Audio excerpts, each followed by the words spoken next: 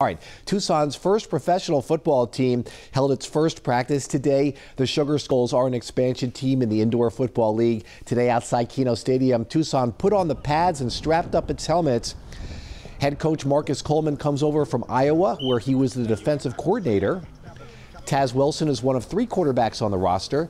The Sugar Skulls will play a 14 game schedule beginning in March at the Tucson Arena. Now, one position you will not see out there is punter.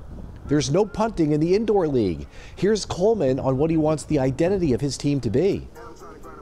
We're going to be mentally, you know, mentally tough first and foremost. Uh, we're going to be physical, and you know, we're going to play fast. You know, that's it. You know, on offense and defense. You know, we're going to be an attacking style team. You know, on both sides of the ball. I already knew coming in we were going to have really good defense. Uh, we got a great defensive coach, brought in some great guys, so they were rolling, and uh, we should expect a lot from them this year. Being that was the first day, uh, I mean, we got a lot to work on, but overall, it was a great uh, be able to get out here, uh, see a couple guys run around, get loose, have fun. So overall, I think it was a pretty good day.